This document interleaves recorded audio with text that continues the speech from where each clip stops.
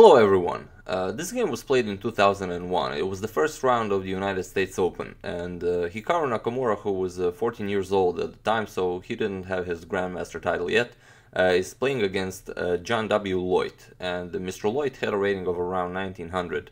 So it was uh, quite, quite a difference in strength, but it's it's amazing how this game shows how easy it is to win when you when you play chess really well and uh, well Nakamura really show really makes chess look simple in this game. So let's see this game. Nakamura is white and uh, Mr. Loyte is black. Uh, we have e4 and d5, uh, the Scandinavian defense. And Nakamura goes for knight to c3, inviting black to push d4. So he does, he pushes d4, we have knight c2 e2, uh, e5, defending the d4 pawn, and Nakamura plays knight to g3 uh, knight to f6 and now knight to f3 attacking that uh, e5 pawn. Uh, Loyte defends with bishop to d6 and we have bishop to c4. Uh, we have castles, castles and now bishop to g4.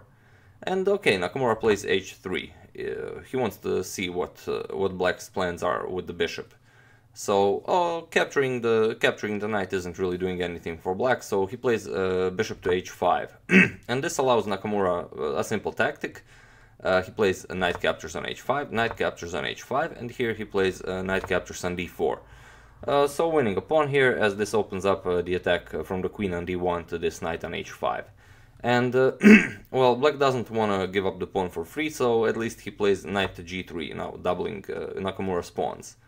Nakamura plays f captures on g3, and we have e captures on d4. And now d3.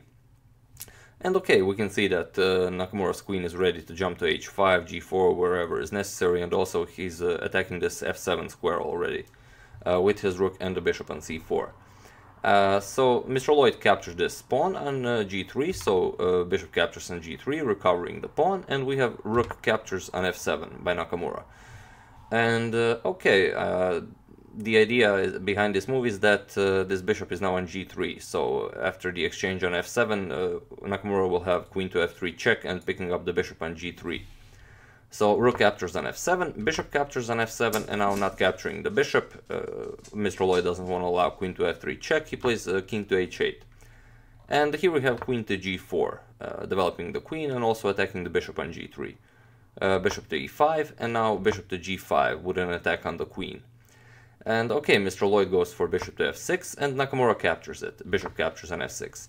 And, well, Mr. Loyte can't really capture this bishop with the queen, uh, for example, uh, queen captures on f6, because uh, he would run into queen to c8 check. And uh, there are no more moves, uh, only move is queen to d8, and queen captures on d8 is checkmate. So after bishop captures on f6, Mr. Loyte played g captures on f6, and here we have rook to f1. Uh, again, with a very simple threat of rook captures on f6, the queen will not be able to capture back as queen to g8 will be checkmate. So uh, he defends this, knight to d7, and uh, here again Nakamura plays the strongest move, he plays bishop to e6. now with a double attack on this knight on d7. And uh, well, the knight can't really go to f8, uh, as this will again be queen to d8 checkmate. And the best move here was knight to e5. Uh, but here, after knight to e5, queen h4 with a double attack on this pawn here, it's not clear how black would defend this. Uh, so after bishop to e6, Mr. Loyte played knight to c5. And here Nakamura instantly uh, plays bishop to f5. And uh, this is with a threat of uh, bishop captures on h7, and after king captures, rook to, rook to f5 with a checkmate on h5. Again, a very simple threat. So queen to f, uh, queen to e7, uh, Mr. Loyte defends this, and uh, Nakamura nevertheless plays bishop captures on h7. So now we have queen captures on h7 and rook to f5. And now attacking this knight on c5, uh, but also threatening rook to h5 and uh, winning the queen. So we have rook to g8, uh, now attacking Nakamura's queen, and queen to f3. again, the threat is capturing the knight and also rook to h5. So the only move that really stops this is uh, rook to g5, which is played, and Nakamura plays uh, rook captures on g5, f captures on g5, and the queen to f8 check. And now we see why this knight is really misplaced here on c5. So queen to g8, and now queen captures on c5. And as you can see, Mr. Loyte has uh, 5 pawns, Nakamura has 7 pawns. And, well, capturing this pawn on a2 doesn't really achieve anything, as queen captures on d4 would check, defense b2, uh, doesn't really win a pawn. So Mr. Loyte tries queen to g7, uh, defending the pawn, but this loses the a7 pawn.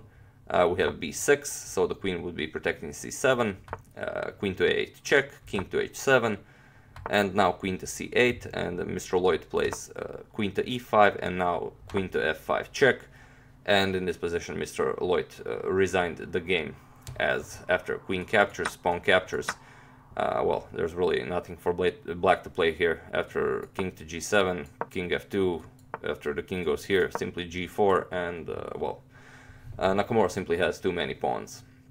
So yeah, after this uh, after this uh, queen to f5 check, uh, Mr. Loyte resigned, and well, it's a, a, very simple game, but, but a beautiful game. So yeah, I hope you all had a great Sunday. I hope you enjoyed this game. Uh, I would like to thank Mr. Uh, Harmut Nebe for your contribution to my channel. Uh, thank you, sir. I appreciate it. And yeah, that's it. as usual, you can check two of my previous videos here. thank you all for watching, and I'll see you soon.